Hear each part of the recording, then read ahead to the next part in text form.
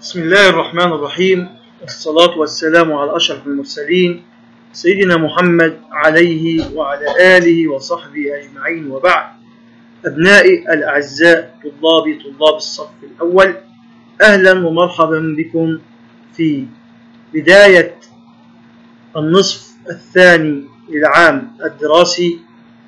ونبدأ بمشيئة الله أولى دروس مادة لغتي بمراجعة الحروف التي سبقنا أن شرحناها ودرسناها. هيا بنا يا أبطال نتذكر مع بعض الحركات القصيرة والطويلة والحروف التي تمت دراستها في الفصل الدراسي الأول. انظر معي إلى هذا النشاط النشاط الأول يقول أنطق الحروف المكتوبة بحسب الحركات في السطر الأول. انظر إلى الحركات. هذه الحركات يا أبطال نقول عليها إنها حركات قصيرة. فما هي الحركات القصيرة كما قلنا؟ حركة الفتحة والكسرة والضمة. حركة الفتحة إذا أتت مع حرف الميم نقول ما مع الباء. باء مع اللام لا مع الدال دا مع النون ن مع الراء راء مع الصاد ص مع الفاء فاء مع السين ساء مع القاف قاء مع التاء تاء مع الحاء حاء مع الألف آ مع الطاء طاء مع الزاي زاء مع الواو و مع الجيم جاء مع الشين شاء هذه يا أبطال مع الفتحة. أما إذا أتت هذه الحروف مع الكسرة فنقول على الميم مي والباء بي اللام مع الكسرة لي هيا بنا نقرأ هذه الحروف مع الكسرة. بالترتيب دي ني ري صي في سي قي تي حي أ. ينفع أقول أ؟ لا يا أبطال لازم أقول إي. بس في الحالة هذه الهمزة هتكون من أين يا أبطال؟ أسفل الألف. طاء نقول طي. زي وي. جيم جي. شين شي. إذا أتت الضمة فأقول على الميم مو بو لو دو نو رو سو فو سو قو تو حو أو تو زو و جو شو. هذه الحركات مع الحروف هذه الحركات تسمى حركات قصيرة. النطق يا أبطال ما يأخذ أكثر من ثانية. يعني في أقل من ثانية تنتهي من نطق الحرف. إذا قلنا على الحرف الأخير هذا نقرأه بالحركات الثلاث. ش شي شو ننتقل إلى النشاط الثاني.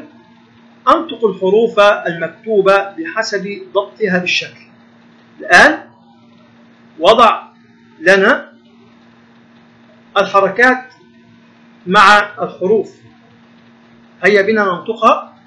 ما مي مو بو ب بي لي لا لو دا دي دو نو نا ني را ري رو صي ص صو فو ف في سا سي سو قو ق قي تي تا تو ح حو حي أو أ إي طي طو طي ط ز زي زو و و وي جي جا جو شي شو شي إذا يا أبطال لو تلاحظ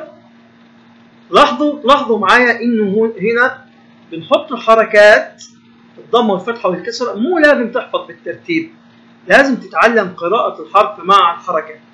فعيني تيجي على الحرف مع حركته. ما ينفع تنطق الحرف إلا لما تشوف الحركة معاه.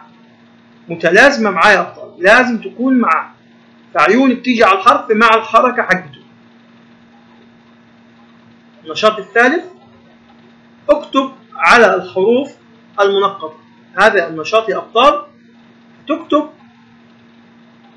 هذه الحروف المنقطة أمامك بخط جميل وتراعي كتابة الحرف بطريقة صحيحة.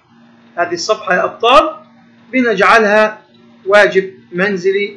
تقدر إن أنت تكتب وتبرم السمك وتكتب بخط جميل. كمان أبطال ننتقل إلى النشاط رقم أربعة أقرأ الكلمات الآتية ثم أكتبها. هيا بنا نقرأ هذه الكلمات. كل هذه الكلمات حروفها تحتوي على حركات قصيرة. هيا نبدأ. قرأ.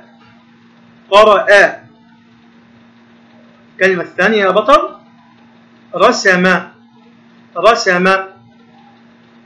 ثالثة. ربح ربح. شرب شرب. مرة أخرى قرأ رسم ربح شرب. لاحظ الأصوات القصيرة مرة صوتك يكون سريع فيها. أنف. لاحظ المقطع الساكن. أنف مع تنوين الضم. أنف. حبل. قرد جبن ركز معي في نطق المقطع الساكن وتنوين الضم ساحة هذا صوت طويل. ساحة واسعة. واسعة. مد الحرف مقدار حركتين فقط. لاحظ حرف المد مو معاه ولا حركة. الممدود هو اللي معاه الحركات. مثل ما تعلمنا في الفصل الدراسي الأول. عقول عقول. كبيرة كبيرة. التنوين اللي معي أمامي تنوين ضم. يوضع على الحرف الأخير فوق الحرف الأخير. النون الخداعة مثل ما وضحنا لكم يا أبناء. هنا يا أبطال لاحظ اللام القمرية والشمسية عند النطق. القمر.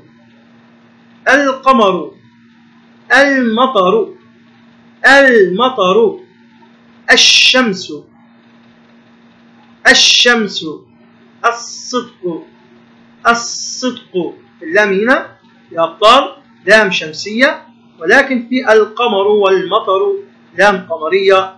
والفرق بينهما كما قلت لكم أن اللام القمرية تنطق وتكتب ونضع فوقها سكون. تكون ساكنة.